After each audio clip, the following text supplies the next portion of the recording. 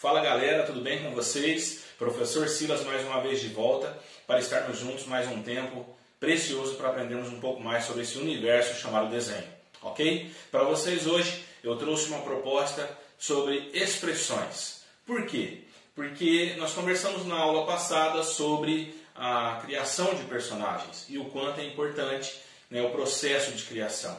E nesse processo de criação do personagem, a sequência é as expressões. Nós precisamos dar vida a esses personagens, porque nós precisamos que esses personagens passem emoções para nós, ou no caso, para quem vai estar vendo a história que nós vamos estar desenhando, ou contemplando o personagem que vamos estar desenhando, essas expressões precisam mexer com o ouvinte, com aquela pessoa que vai estar ali interagindo com ela na revista em quadrinhos, ou seja, na televisão, enfim, onde quer que seja, que a sua imagem vai chegar após a criação, as, as pessoas vão interagir com essas emoções e elas precisam sentir aquilo que você se propôs a passar. Então hoje nós vamos começar falando sobre essas expressões, né? vai ser uma sequência de aulas, acredito que umas duas aulas para nós tratarmos sobre expressões, e eu vou passar as quatro das principais expressões para você hoje. E bora para a mesa, que é hora de aprender.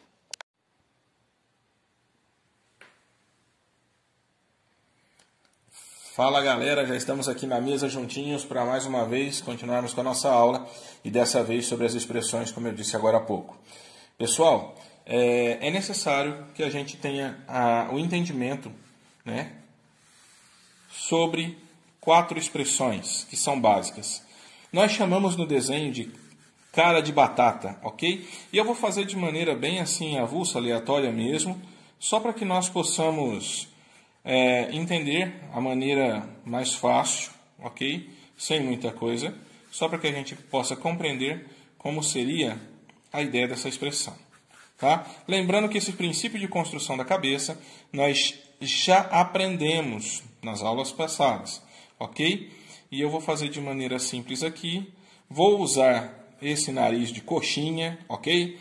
Que na verdade é uma base triangular e eu quero já enfatizar desde já aquilo que nós já aprendemos em outras aulas, é a questão das figuras geométricas para poder chegar ao resultado do trabalho. Tá? Então eu vou construir quatro expressões. Essa é uma delas, ok?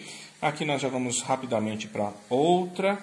Então eu vou fazer mais ou menos aqui o, mesmo rostinho. vou jogar aqui mais ou menos a mesma orelhinha aqui mais ou menos do personagem, ok? Vou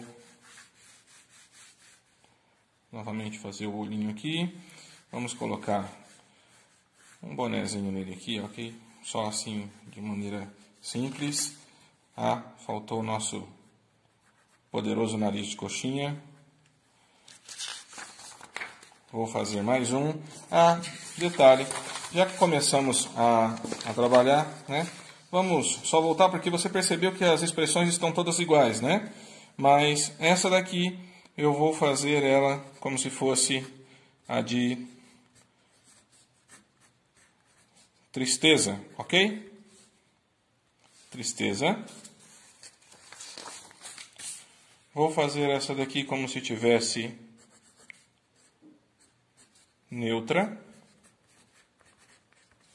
Ok? Vamos fazer aí mais uma comigo.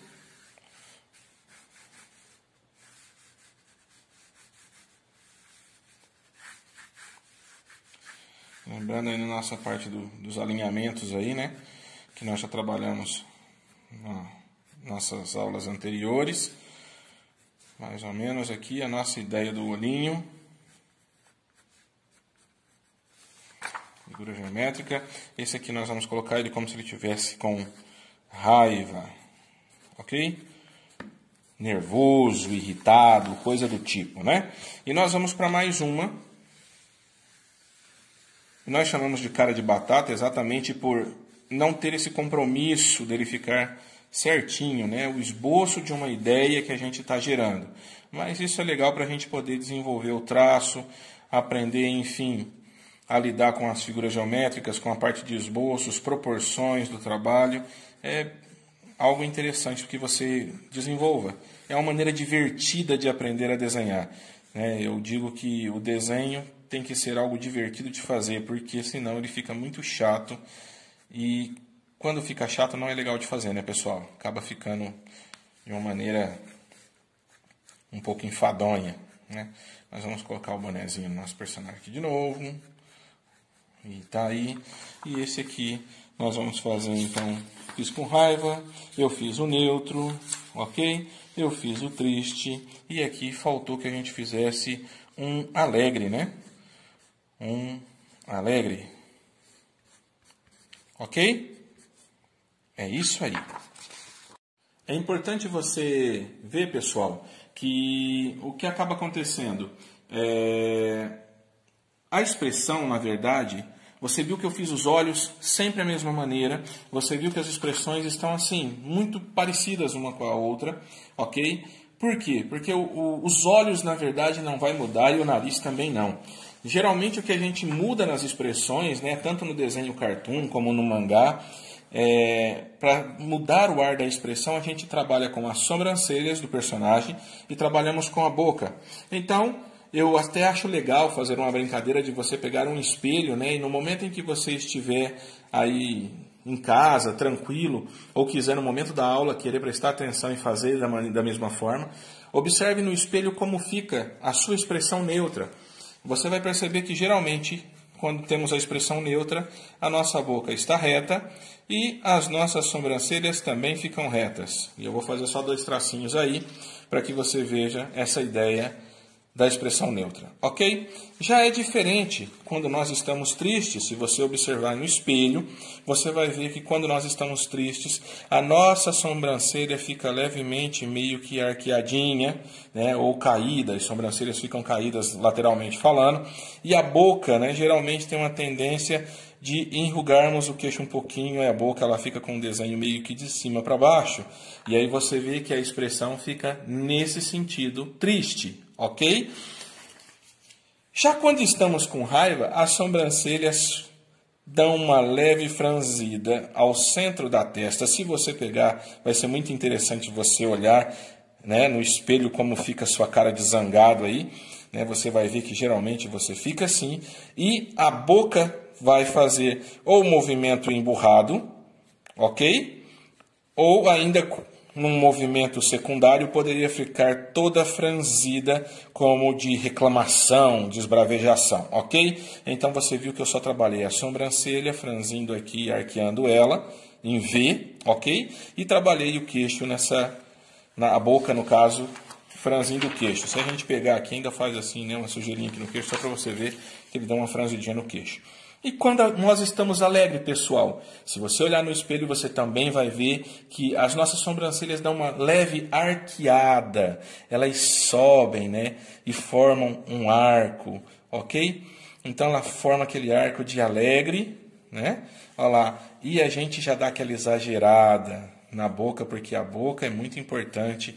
Né? E se for o caso do desenho da caricatura, né? como nós estamos falando da criação de personagens, e eu sempre indico que você comece pelo cartoon ou pela caricatura, pelas tiras, como nós costumamos dizer, que é a maneira mais simples de você trabalhar. Né? O mangá já é um pouco mais elaborado, o desenho artístico, então, ou o realismo já é muito mais elaborado. Então, para que uma criança consiga fazer legal esse trabalho, para que o adulto, enfim, o iniciante do desenho, fazer legal o desenho, fazer de forma animada, eu tenho a certeza que o cartão é o melhor caminho, mais simples, o menos é, compromisso com aquilo que é real e com certeza você vai se divertir bastante fazendo essas aulas, ok? Já volto já para nós conversarmos um pouquinho mais sobre as expressões. Tá aí pessoal, eu estou com uma estaca integral, ok? De 6B. Eu estou só escurecendo agora o trabalho para poder aparecer melhor no vídeo para vocês. Lembrando que é o que eu disse para vocês, né? Ah, é, não tem aquele compromisso é, da gente é, buscar a estética agora, porque nós não estamos aprendendo basicamente a estética, nós estamos aprendendo como é, dar forma à vida desse personagem, a expressão dele.